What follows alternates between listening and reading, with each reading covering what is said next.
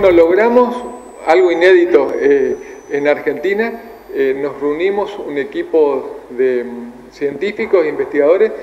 eh, a nivel del Ministerio de Agricultura y Ganadería de la Nación, del EVIPES, que es ese grupo de trabajo que lleva adelante los programas de monitoreo de sábalo en la provincia de Santa Fe,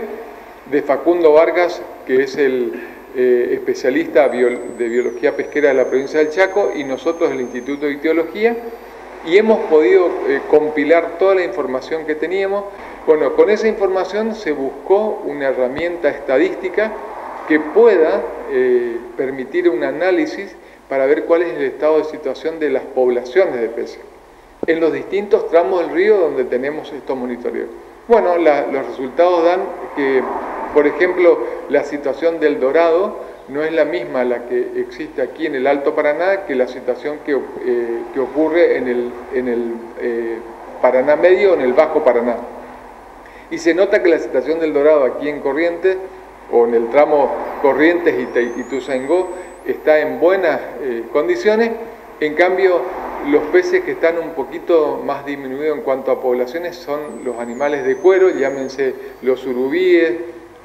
los bagres, los mandurés, eh, y los armados, donde hay una merma eh, en cuanto a su población, y ahí entonces tratamos de indagar el por qué se producía esto. Bueno, el por qué lo encontramos en que eh, hemos visto en este último periodo que la transparencia del agua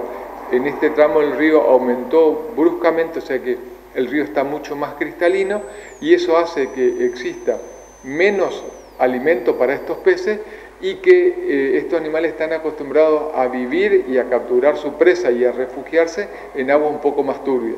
En cambio, la presencia del dorado y la presencia del el pacú y la presencia del salmón de río eh, está en buenas condiciones aquí en la zona. En cambio, aguas abajo, por el efecto de la pesca comercial que hay del dorado y del sábalo, son las dos especies más afectadas en la parte sur de Argentina. Bueno, esa información está disponible. Nosotros, lamentablemente, bueno, no sé si decir lamentablemente, pero el trabajo lo presentamos en una revista de mucho renombre que se denomina eh, Neotropical Ichthyology y que solamente permite la publicación de estos trabajos en inglés,